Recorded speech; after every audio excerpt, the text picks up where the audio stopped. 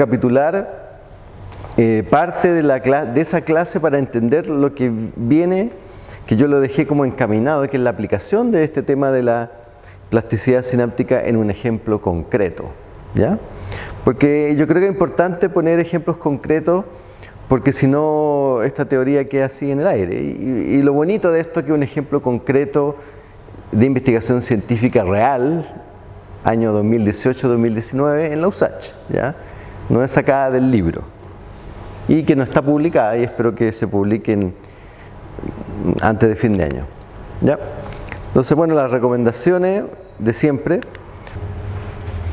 También hablamos, eh, y aquí ya lo aterrizamos un poco a cómo lo hace uno esto experimentalmente, ¿ya? cómo uno estudia la fisiología de un circuito en el laboratorio.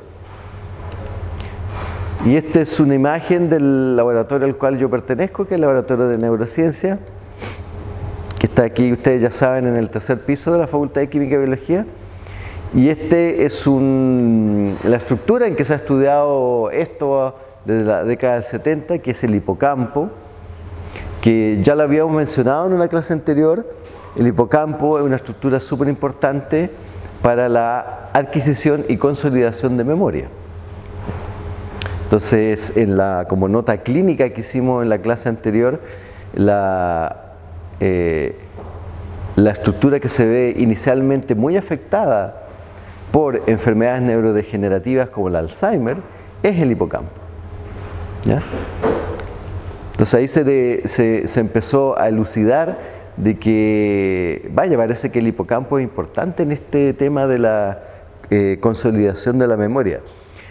Los mecanismos exactos, cómo ocurre esto, todavía no se saben, pero sí sabemos que hay plasticidad sináptica involucrado en eso, en la memoria, que si nosotros bloqueamos algunas de las proteínas que participan en el proceso de plasticidad sináptica, bloqueamos el aprendizaje y la memoria en modelos experimentales.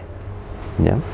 Entonces se saben como hartos detalles, eh, pero el detalle fino de decirte ya, ¿cómo es que ustedes tienen la chance de convertir la memoria de lo que estamos conversando ahora en memorias de largo plazo esas cosas, eh, en realidad no hay un modelo todavía.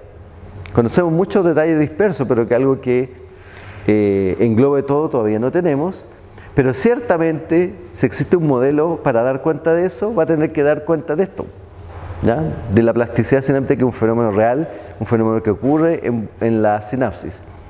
En modelos animales, y aparentemente también parece que, ocurre, que ocurre en humanos. O, más bien, para ser un poco más modesto, en primates, ¿ya? Que pertenecemos, pertenecemos a esa rata, a esa, a esa rama eh, filogenética. Bueno, entonces la técnica que se utiliza es registro, por ejemplo, este eh, que es lo más fácil, registro extracelular.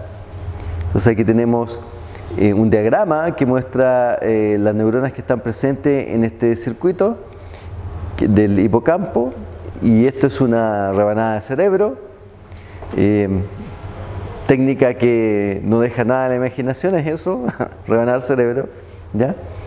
y lo que está en negro aquí es un electrodo de estimulación que vamos a estimular este terminal presináptico de un grupo de neuronas que se llama neuronas del área CA3 y que hace sinapsis, esto es una caricatura, por supuesto, aquí hay muchas neuronas y muchas sinapsis. Para que se den una idea, una típica neurona de estas que se llaman neuronas eh, piramidales puede tener alrededor de 10.000 espinas dendríticas. ¿ya? La espina dendrítica, me faltó mostrarle al principio, en la imagen que aparece de fondo en esta diapositiva. Este es una dendrita, ¿ya? parte del árbol dendrítico, y cada una de esas protuberancias que eh, en, el, en, la jerga neurocientífica se clasifican como eh, de tipo filopodio, de tipo hongo, ¿ya? o de tipo, aquí no hay de las tipo tronquito, que es como sería así nomás una cosa chica. ¿ya? Eh, es el lugar físico donde está el terminal postsináptico. ¿ya? Hay un correlato físico. Entonces la, En esta zona, eh, una neurona, en teoría, si quisiéramos hacer como matemática, eh, una neurona podría conectarse a 10.000 neuronas distintas. Pero en la realidad, eh, una neurona recibe una cantidad no muy bien determinada de sinapsis de una misma neurona, o sea, una cantidad grande. Y, digo no determinada porque no está muy claro, porque otra de las cosas que pasan cuando ustedes, eh, o sea, cuando los mamíferos, más bien, eh, aprenden, es que le crecen espinas dendríticas. Ahora, hay una historia muy bonita al respecto de que cuando recién se supo, o sea, no, ni siquiera se sabía. Cuando se avanzó, por la década de los 70, sí, la década de los 70, era como, fue como la década del, de, la, de la genética, ¿no?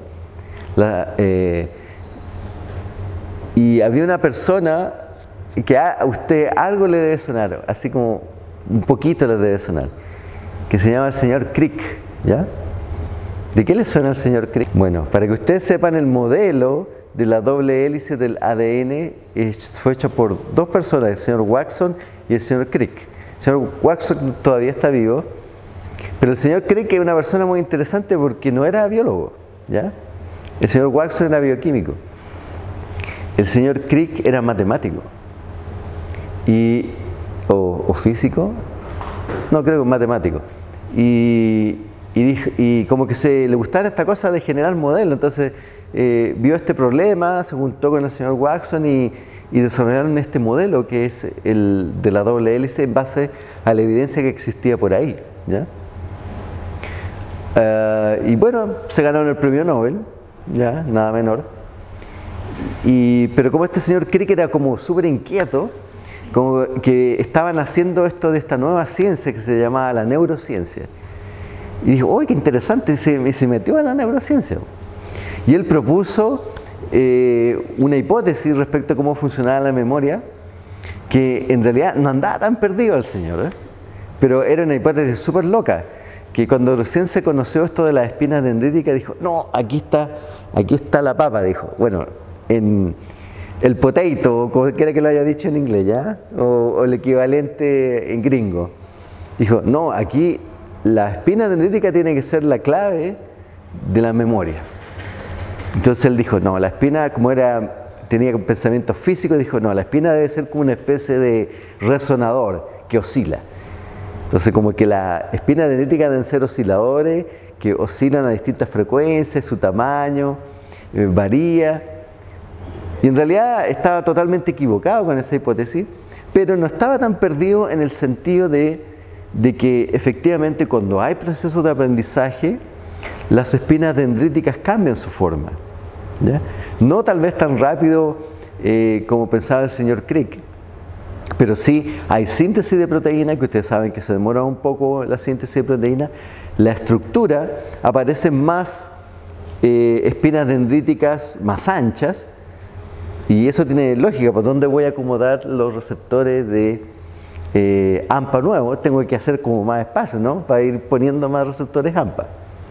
Entonces, bonito eso como a veces la, eh, o sea, no a veces, muchas veces la física, la matemática ha nutrido a la biología y ha postulado cosas que, que después se descubrieron que existían. ¿ya? O que existían de una manera que no era como la que la pensaban los matemáticos. Entonces el señor Crick eh, finalmente se, como que andaba siguiendo la... Eh, era muy inquieto intelectualmente, eso es admirable. ¿Cómo se obtiene la rebanada? Básicamente ahí está una ratita o ratón. ¿ya? Ahí está la ubicación en el caso de, los ratones eh, en el caso de los ratones, eh, ¿cómo se ve el hipocampo en ratones? Si ustedes se dan cuenta, eh, la corteza de ratones es como lisa. ¿Y cómo esto uno lo mide en, el laboratorio? Y este es un gráfico de la, respuesta que hay eh, medida con este electrodo extracelular eh, de la sinapsis que están siendo activadas por este estímulo eléctrico que hace que se genere un potencial de acción que viaja hasta la sinapsis que está allá. Entonces, este, esta escala de tiempo son milisegundos, aquí hay como 40 milisegundos, y está eh, medido en milivolts. Y aquí está al revés de lo que habíamos visto de los potenciales de acción, porque estamos midiendo extracelularmente. ¿ya? Y aquí tenemos una gran respuesta eh, que es lenta eh, y es bastante lenta comparada con el potencial de acción. El potencial de acción es una fracción muy pequeña de esto, son como 2 milisegundos. Eh, de hecho, esto que hay aquí refleja cómo se ve potenciales de acción presináptico de manera extracelular, se ven más chiquititos. ¿ya? Y esta respuesta en general es súper pequeña, estos son 2 milivolts. Y es porque estamos afuera de la neurona, no, son esos como 100 milivolts de amplitud de todo el evento del potencial de acción. ¿ya? Es muy chiquitito. Y tiene esta respuesta que es muy grande. Y, esto, y esto refleja la cinética de, activación y de desactivación eh, producto de la liberación del neurotransmisor. ¿ya? Y la distancia que hay más o menos desde que doy el estímulo hasta que tengo la respuesta es siempre alrededor de como 5 milisegundos. Entonces eso es más o menos lo que se demora en liberarse el neurotransmisor y que llegue al receptor. Y uno puede decir, ah, no suena un retraso tan, tan lento, ¿ya? pero por ejemplo, eh, eso nos lleva a la reflexión de, bueno, ¿cuánto se demoran los estímulos en el mundo real a llegar precisamente a ser procesados en la corteza? Y si uno empieza a contar la sinapsis, eh, en realidad nosotros, nosotros estamos bastante retrasados con respecto a lo que estaban pasando con los estímulos. O sea, en, el, eh, nosotros somos principalmente personas visuales, nos movemos en el mundo visual. Entonces, entre la retina y la corteza visual primaria, podemos decir que hay por lo menos 1, 2, 3, 4, 5, 6, 7, hay como 7 sinapsis, ¿ya? O sea, hay una cantidad muy grande de milisegundos de retraso entre lo que es el estímulo visual y con eh, lo que llega a la corteza. Si empezamos a contar la sinapsis. Pero si vamos al oído, por ejemplo, eh, la cantidad de sinapsis es mucho menos, son como dos. ¿Ya? Entonces por eso es que reaccionamos más rápido a las cosas auditivas que a las cosas visuales. Bueno, y, y esto es simplemente un esquema que yo ya había mostrado de cómo se ve esa misma respuesta medida en esta parte donde está, llega el terminal presináptico y hace sinapsis con la espina y acá si estamos más cerca del cuerpo se ve un poco distinto. ¿ya? Eh, y lo que se genera en el terminal postsináptico no es un potencial de acción, es un pequeño error conceptual. Lo que se genera en el terminal presináptico es un potencial de acción que viaja depolariza el terminal presináptico y libera el neurotransmisor.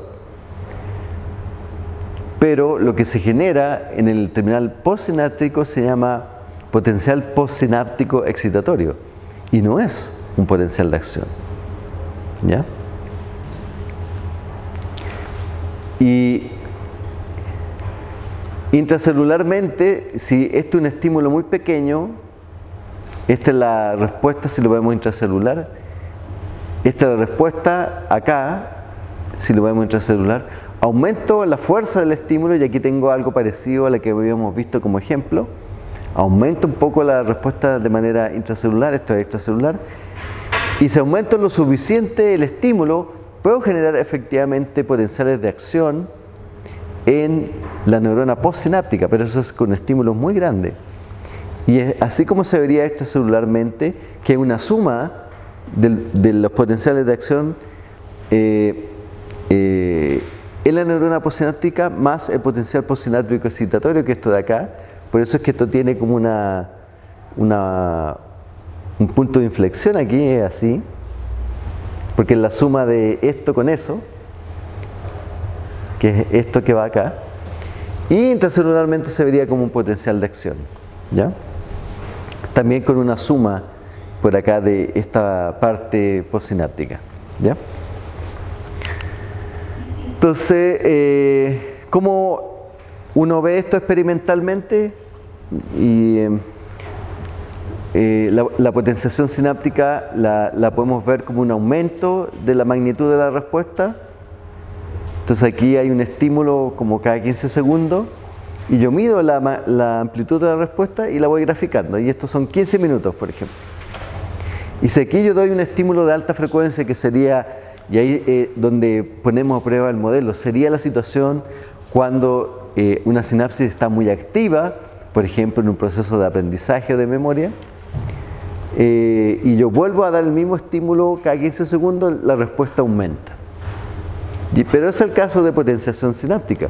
Pero también existe el otro mecanismo, que es la depresión sináptica, que si es sometido a poca estimulación durante un tiempo prolongado, eh, eh, la respuesta disminuye. Y el mecanismo contrario a la potenciación sináptica a nivel celular es la remoción de receptores AMPA de la membrana. ¿Ya? Ahora, experimentalmente yo, como se ve, así es, eh, esa es una rebanada de cerebro y, y esta es un sistema de registro extracelular eh, de los que hay en el laboratorio. Entonces aquí un registro doble en realidad. Aquí este es como un canal este lado y este otro canal este otro lado. Y hay una estimulación de esto y un registro acá, estimulación de este electrodo y registro acá. Eh, eso era, esto era corteza visual. Esto era dos hipocampos en un, en un mismo eh, este es un baño que es básicamente suero fisiológico, que está circulando oxigenado, entonces uno puede mantener a las rebanadas vivas por varias horas. Y aquí tenemos dos hipocampos. Aquí otra aproximación. Estos son hipocampos sacados para la foto, ¿ya? no, no tenía una buena imagen de hipocampo, así que utilizamos esto para hacer una bonita foto. Bueno, Ok. Eh, em, ah, y esto también se lo había mostrado en la clase anterior, cómo se ve un experimento real. Este es un experimento real pero acelerado, ¿ya? En que aquí yo voy midiendo la magnitud de la respuesta, aquí en este punto di un estímulo de alta frecuencia y, después de, unos minutos vemos que cuando volví al mismo estímulo cada 15 segundos la respuesta permanece aumentada. Este obviamente no se ve tan bonito como la potenciación que vimos hace un rato porque este es un experimento unitario, es un experimento único. Y lo que uno hace como en ciencia hace estadística, promedia varios experimentos, y, pero aquí la tendencia se ve claro. Entonces como esto no es un curso de plasticidad sináptica, eh, hay más detalles que conocemos que ocurren a distintos tiempos de este proceso de potenciación sináptica. Y esto es, pero esto es como se ve en un laboratorio real de la USACH. ¿ya? Y digo y recalco eso porque este software existe solamente aquí en la USACH, porque yo lo hice para hacer los experimentos. Ah, bueno, en otra parte lo usan también en John Hopkins, que es donde trabajé antes y todavía lo siguen usando. Entonces, hacer investigación no solamente es saber de biología, uno tiene que saber de otras cosas.